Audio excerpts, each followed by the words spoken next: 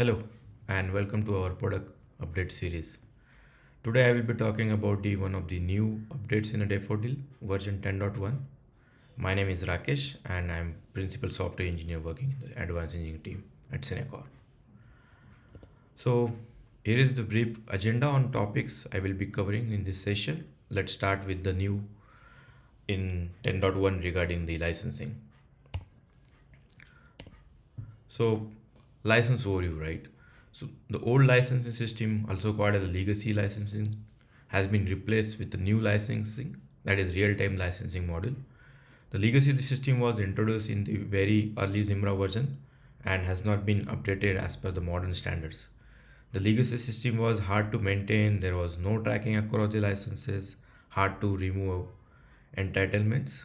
Once the license created, there was no way to change that license.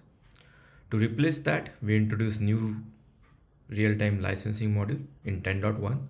This is cloud-based automated licensing and entitlement service. This means that once a, an environment receives a license key and it's activated or enabled, no other action will need to occur on the environment. Management of the license happens in the cloud-based service and is pulled by the Zimbra environment within the few minutes. Advisory a new license is mandatory before you upgrade to 10.1. If you don't have it, contact support and sales to get a new 10.1 license. Now you will be getting a 10 to 10 to 18 to 25 character license key instead of the XML. What has been changed uh, in V2 legacy licensing and V3 uh, licensing? Now new license is a key managed by the local license daemon service basically so previously we used to have a xml file now we need that license key and uh, it will be managed by a local license daemon service. We are going to continue to support license types that is regular trial and extended.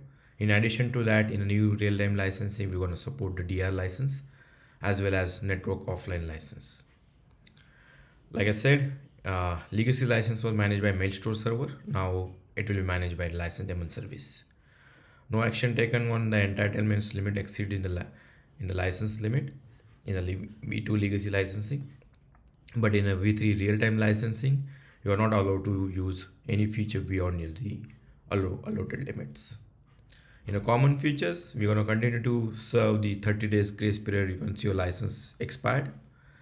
Same license can be used on multiple devices but it is allowed for the only for the special cases additional FAQs, right? Can you can customer proceed to upgrade without trace license? No, you need a valid new license. How can I get a new license? Customers request for a new license either for support or sales, or they can convert to their legacy license from the support portal. Can customer activate license offline? Yes, we're gonna continue to support that. But to support offline activation, they need some additional modules to be installed, please refer admin guide for the same. Can customer use the same license on multiple setups? Yes, we are allowing to use that for special cases. When does the system state change to grace period? There are two scenarios where your system can be into the grace period. One is your license expired, system into grace period for next 30 days when license daemon service is down, the system moves into grace period until and unless your LDS is up and running. License types. So there are two major license types, regular and trial. Most licenses are categorized as regular licenses. Uh, there are subcategories in a regular license like disaster recovery license and the offline activation license. So basically disaster recovery license for hot standby servers, basically specifically for a combination of two licenses. Offline activation license, also called as a network license, work as a combination with the product license keys. Trial license, it is 60 days, 50 users license with all features and functions enabled. License activation. So there are few enhancements made on a admin UI side to make it more intuitive and easy to follow. All license operations are on a single screen now. You don't need to navigate through screen to screen for any license related operations. Split key and multiple activations. This is specifically for a BSP on uh, who uses the same license on a multiple product production servers. Basically, we are allowing them to use a uh, same license on multiple in production servers. But if you use the same license on multiple environment, you have to make a note of like the limit of that usage limit of that particular license will be calculated across the environment. So for example, you have three production environment, environment one, environment two, environment three. You're using 50 users on environment one, you're using 100 users on environment two, you are using 50 users on environment three, then total value is 200 users. So it will be calculated across the users. Additional user cannot be created on any environment if your account limit has been reached. So it is applies for all environment. Let's talk about the high level architecture. So like i said i talked about lds in a previous slide. It is a new component introduced as part of the zimbra installation. It will get installed automatically. So basically this is a local license server uh, for your zimbra setup. Any anything related to licensing will be managed by this component. This component will make sure to communicate to our cloud license manager for any license related operations let's more let's talk more about the LDS that is license daemon service.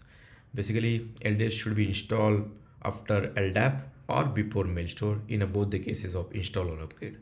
In a multi-node upgrade both legacy and new license will continue to work unless whole setup upgrade to the Zimbra 10.1 so you don't need to uh, think about the how it it gonna work with the legacy license. It will continue to support the legacy as well as new license. LDS should be installed on a internet facing server since it need to communicate with our cloud-based license management system so it should be always on a internet facing server in case of online activations. For a small environment it is recommended to install on a on the mta proxy. For larger environments a dedicated node is recommended for the lds all mail store within the zimbra setup will be communicating with the license daemon service for any license related operation whether it is license activation whether it is license check whether it is feature check if your license daemon service is down, Zimbra setup will enter into the grace period until service is up and running. So you have to make sure that your service is up and running always. There are some enforcement like in a new real-time licensing. There are two kind of attributes in a license, enforce attributes and the reporting attributes. So basically enforce attributes are like unless or until that attribute is enabled with some limit, you are not allowed to use that like EWS MAPI, Mobile Sync, SMIME. You have to have those attributes enabled if you want to use that feature.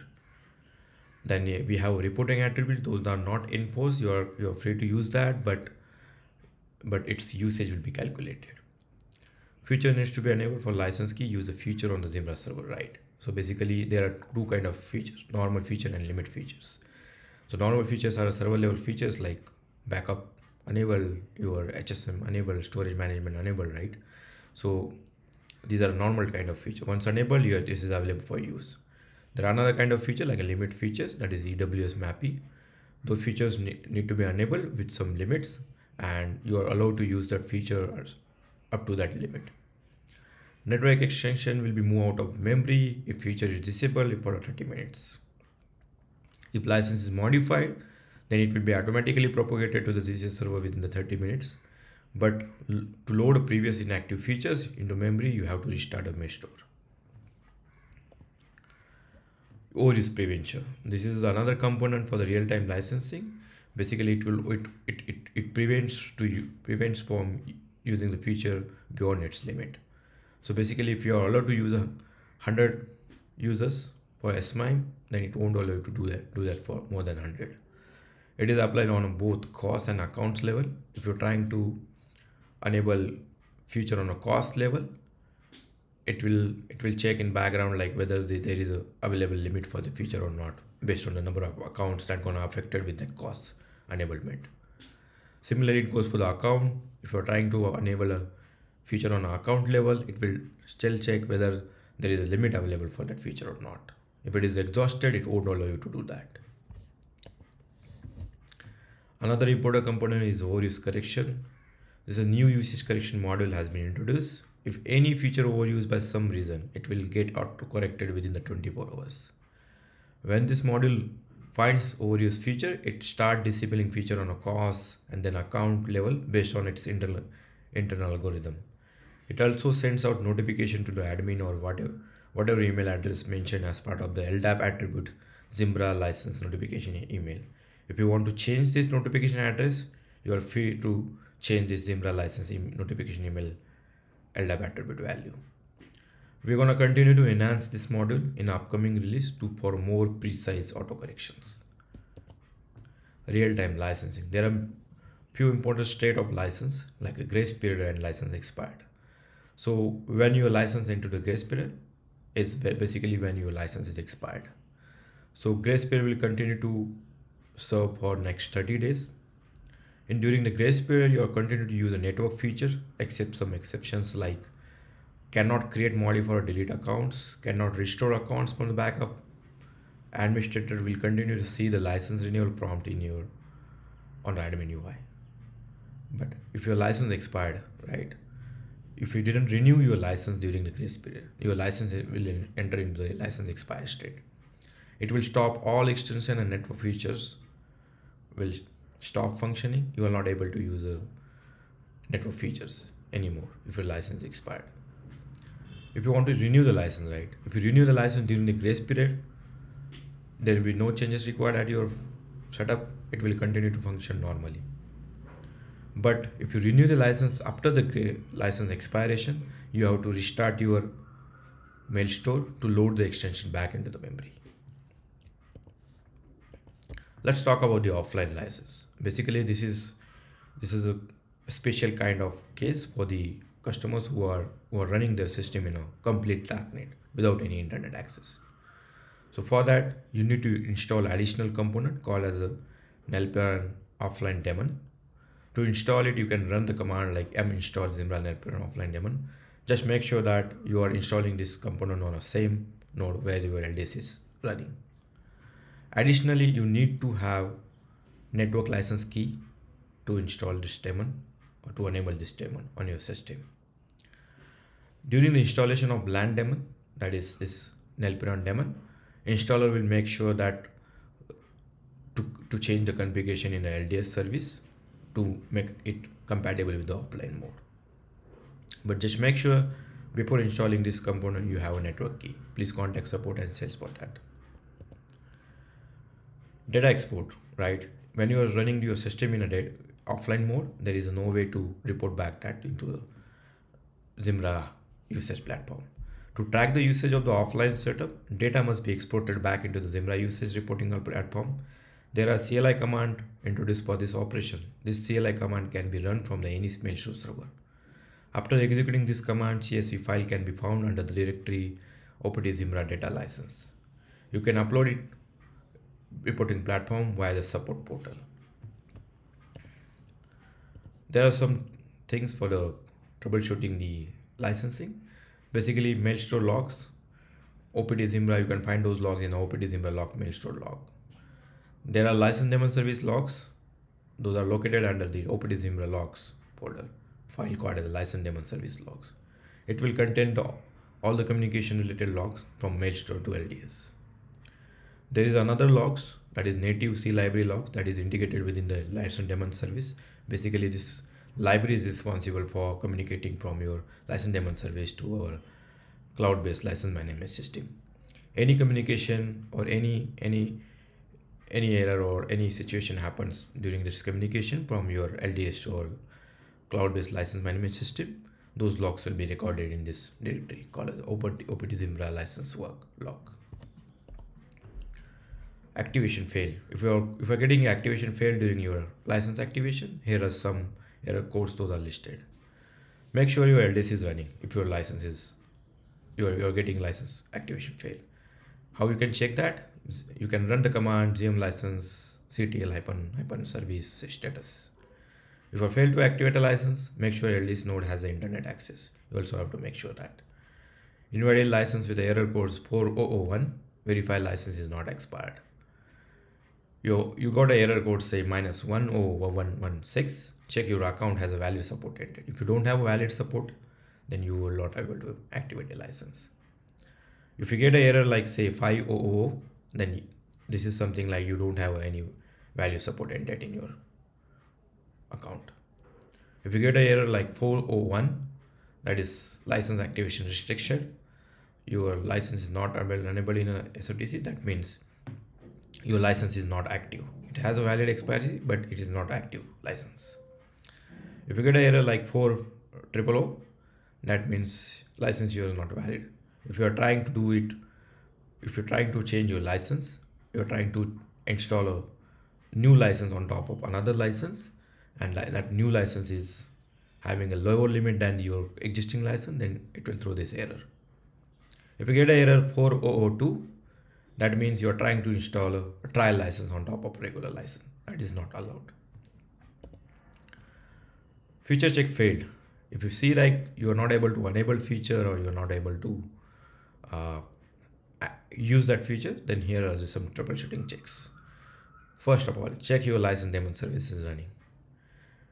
Check you whether you are authorized to use that feature. How you can check that? You you can run the command zm license hyphen fc and pass the feature code if you recently enabled that feature and you haven't restarted the mail store mailbox then please do it.